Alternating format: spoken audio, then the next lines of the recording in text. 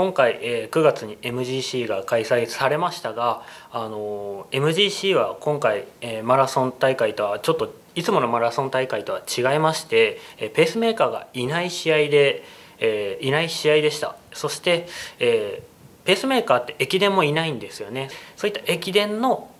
駆け引きが今回 MGC にも生きたのかなと思いますしやはり日本代表のマラソン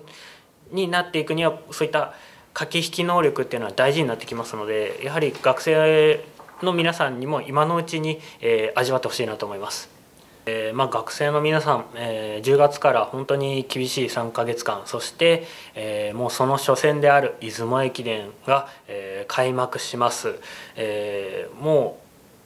走るっていうことにこう嫌になるほど、えー、もう本当に頑張ってほしいと思いますし、えー、その嫌になった先にですね充実感であったりとか悔しさっていうものが必ずやってくると思いますその悔しさや、えー、まあ、充実感をまた糧にしてですね、あの